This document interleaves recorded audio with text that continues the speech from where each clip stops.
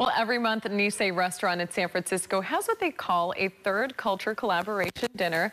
And what it does is showcase the culinary world as a whole. So here to explain a little bit more is chef and owner of Nisei, David Yoshimura. Thank you so much for being here and congratulations on now your second year of being here in San Francisco, opening uh, your own location here. I'm sure that's a really big deal, but I'm really excited to see what you have in store for us here today. So tell me a little bit before we get to these dishes, what is that event all about? So the third culture collaboration event is highlighting Asian and Asian American chefs. Uh, it all started by um, my restaurant Nisei, which means second generation Japanese, uh, and I'm half Japanese. So I really wanted to uh, showcase the talent of other Asian American chefs just like me. In my opinion, I think um, there's a lot. I wanted to put emphasis on how great American chefs are. I think a lot of times on the fine dining world, we look for tradition in Asia or Japan, for my, in my example. Um, but I think that restaurants like mine can stand up just as high as the other restaurants across the world. So I wanted to uh, do this collaboration to bring in chefs just like me and um, kind of cook a dinner with them and show them that, yes, we are on the same stage as everyone else. I know in recent years the term fusion has come under fire, but if you can explain a little bit more about what your cuisine is about at Nisei. Yeah, so my cuisine is um, it's a personal reflection of myself. So I'm half Japanese, um, and really the the cuisine is um, about my own personal journey. I've worked in fine dining my whole life, so the food is rather refined, and I use um, locally sourced ingredients from all over California. So I'm trying to use the best ingredients I have, and also stay true to my own culture, which is being half Japanese. And if you want to, you know, call that fusion, that's fine. But really, for me, it's just being transparent with who I am. You know? And honoring where you came from. Exactly. Uh, speaking of where you came from, I know that you moved here from Texas. So you did mention being able to work with our locally grown food. So what mm -hmm. kind of a blessing would you say in being a chef here in California and then working with the ingredients that are grown out here? Well, in my opinion, I think the Bay Area has the best produce probably in America. It's, we have the best farmers markets. We have very, very good seasons. And so for me, it's like, it is really a blessing. It's like we're, we're almost too spoiled, you know? really in Japanese cuisine, we always follow the seasons. If you go to a nice kaiseki restaurant or my restaurant, for example, you can always see seasonal dishes. And I think because we have the best of the best, you can always get a taste of what that is. And so that was my next question. Um, is your menu seasonal? You just answered that. And so what can we look forward to as we are approaching fall and finishing off summer here? Yeah, so fall is a great time for Japanese cuisine. Um, you see things like a second season of katsuo, which is right here. And uh, usually I like to highlight um, some fall ingredients like sweet potatoes. I always have persimmons on the, in the restaurant, at my restaurant during the fall. I always hang hoshigaki persimmons um, in the window and I let them dry.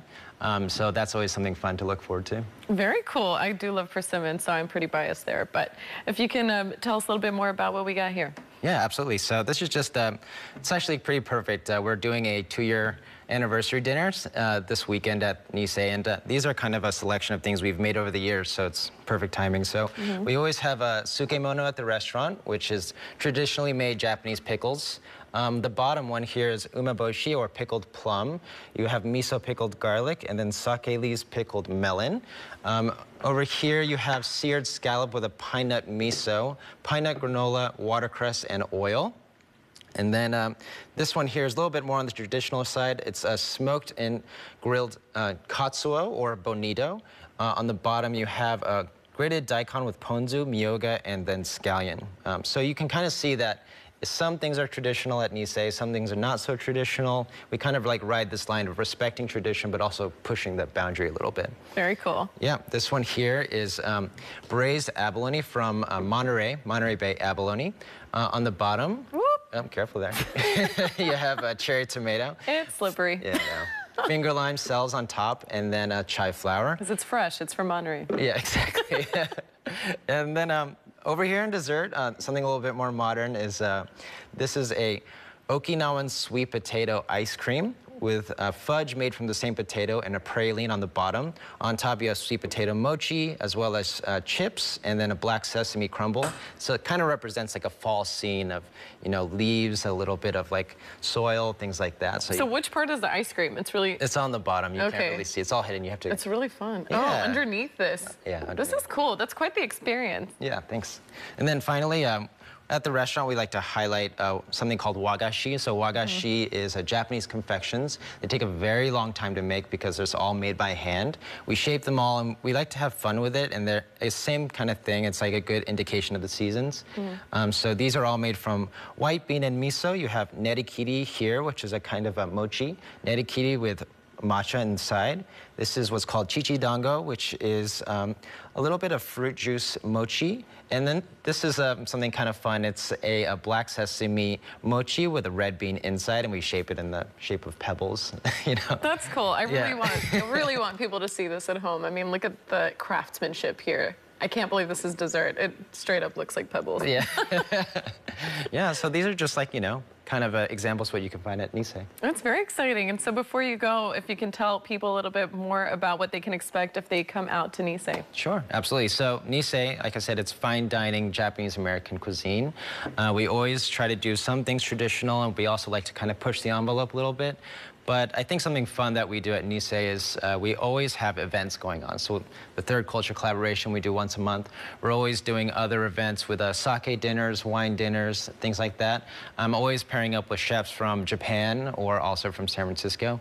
But most importantly at Nisei, what I think um, I would like people to take away from this is you're not going to find Japanese food that that you would at other restaurants. Mm. Um, you know, there's plenty of sushi restaurants and kaiseki restaurants in the city, which I love in particular. But for my restaurant, what sets my restaurant apart is, um, you know, it's really pushing the envelope of what Japanese and Japanese American food can be. And that makes the experience all the more new for people who maybe want to do something a little bit different but still have that same flavor palette. Um, and before you go again, I do want to hear a little bit more about that event. So what sort of restaurants are you collaborating with? And is it all types of cultures from Asia? I know that mm -hmm. you are um, heavily involved with your own Japanese culture, but who's being involved and invited to participate this time and when does that take place? So in the past, we've worked with other uh, fine dining Michelin-starred chefs. Like we, uh, I had a collaboration with James uh, Syhabout from Commis. He's a two Michelin star chef in Oakland. Um, and he is also, um, he's first generation Asian American. Um, but we've also had chefs from Japan. We recently had a three Michelin star chef from RyuGin. It's um, He's based in Taipei. Mm. Um, but yeah, mostly it's Asian American chefs, but I think going into next year, we're going to be opening it up to all chefs around the world. And so does it all take place at your location? All, everyone take, every, all of them take place at my location. Okay, cool. And so when can people come out and taste that? Is that happening now? Um, right now we're doing a two-year anniversary dinner, mm -hmm. but it, it they do happen once a month, and you just have to kind of keep an eye out on our reservation system or our Instagram. Okay, so keep an eye out. You heard it here. Thank you so much to David Yoshimura for joining us here from Nisei Restaurant in San Francisco. We'll be right back.